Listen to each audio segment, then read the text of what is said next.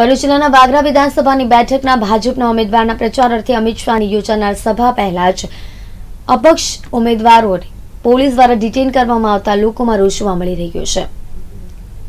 વાગરા બેઠક પર અપક્ષ ઉમેદવારી નોંધાવનારા ઉમેદવારોને પક્ષો દ્વારા મેદાનમાંથી ખસી જવા માટે પ્રલોભન આપવામાં આવી રહ્યા છે. જો તેમ છતાં પણ અપક્ષ ઉમેદવારો ચૂંટણી જંગમાં અડીખમ ઊભા છે. હાલમાં અમિત શાહની જાહેર પહેલા જ અપક્ષ ઉમેદવાર કમલેશ મઢીવાળાની પોલીસ દ્વારા અટકાયત કરવામાં આવતા તેમને ભાજપ પર આક્ષેપ કરી ભાજપ હારી જવાના ડરથી ઉમેદવારોને હેરાન કરતા હોવાની રજૂઆત ચૂંટણી અધિકારીને કરી હતી.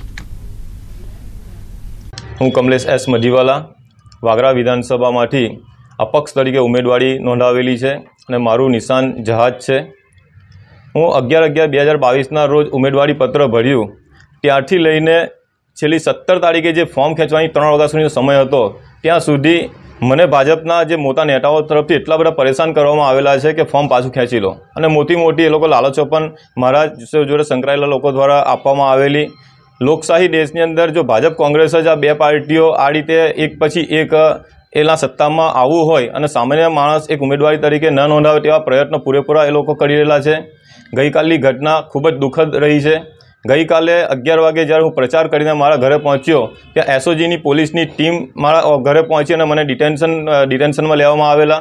અને ડિટેન્શનમાં લઈને છેલ્લા એક દોઢ કલાક સુધી મારે ત્યાં બેઠા, ત્યારે મારે એમને કહેવું પડ્યું કે ભાઈ, હું ઉમેદવાર છું અને ઉમેદવારને ડિટેન કરવાના. તો આ શું લોકશાહી છે?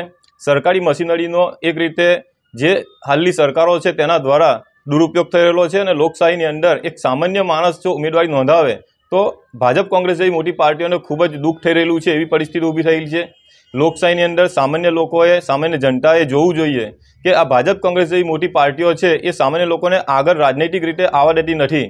અને આ જ કારણે જે ડિટેન્શનનો ઉમેદવાર તરીકે મને ડિટેન કરવાના લીધે મેં ચૂંટણી પંચને આજ રોજ લેખિતમાં ફરિયાદ આપેલી છે અને મારી ફરિયાદમાં મને એવું પણ જાણવા મળેલું છે કે ચૂંટણી જે એસઓજી અને બીજી સરકારી મશીનરીનો ઉપયોગ કરીને મારો ફોન જે છે ટ્રેક કરવામાં આવે છે લોકેશન ટ્રેક કરવામાં આવે છે, મારા જે કોલ્સ છે, તે રેકોર્ડિંગ કરવામાં આવે છે અને આ બધી મટીરિયલ રેકોર્ડ ઊભું કરીને જે ભાજપ કોંગ્રેસની પાર્ટીઓ છે, તેના દ્વારા મને નુકસાન કરવા માટેના પૂરેપૂરા પ્રયત્નો કરવામાં કરવામાં આવી રહેલા છે, એવું મને માહિતી મળી રહેલી છે.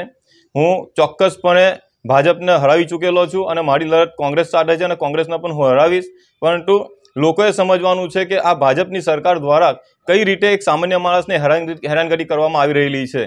તો સામાન્ય માણસ તરીકે હું જે વાગરા વિધાનસભાના મત વિસ્તારના લોકોને વિનંતી કરું છું કે મને મદદ કરે અને આ ભાજપ જેવી સરકાર જે એની મશીનરીનો ખોટો ઉપયોગ કરી રહેલો છે, તો તેને એક જવાબ આપે અને સરકારના પ્રતિનિધિ અને અધિકારીઓને પણ હું વિનંતી કરું છું કે આ પ્રમાણે મને હેરાનગતિ કરવાનું બંધ કરી દે.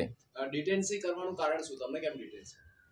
ડિટેન્શન કરવાનું કારણ એ પણ હોઈ શકે કે અમે જે લડત ચલાવી રહેલા છે સમાજના સ્થાનિક લોકોના અધિકારો માટે તો અમિત શાહ જેવા મોટા નેતાઓને પણ અત્યારે ડર લાગી રહેલો છે કે વાગરા વિધાનસભા સભા અમે ગુમાવી રહેલા છે.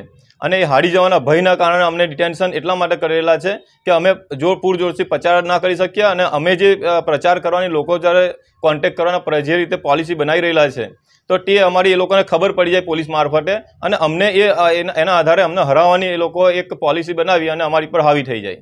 ચૂંટણી કમિશનર સાથે તમારી શું માંગ ચૂંટણી કમિશનર પાસે મારી એવી માંગ છે કે જે પણ એ લોકોએ આ મારું રેકોર્ડ રેકોર્ડ મારા કોલ રેકોર્ડ કરેલા હોય, મારા કોલ ટ્રેસ કરેલા હોય અને એ તમામ રેકર્ડ મને એ લોકો પાછા આપે અને જે, જેને એ રેકર્ડ એને પૂરું પાડેલું છે, તેની પાસેથી એ રેકર્ડ પૂરા મંગાવીને એને ઉપયોગ, દુરુપયોગ કરેલો હોય તેની સામે પગલાં લઈ અને જે જે કંઈ, જેનો ઉપયોગ કરેલો હોય તેની સામે પગલાં લઈને મને ન્યાય અપાવે.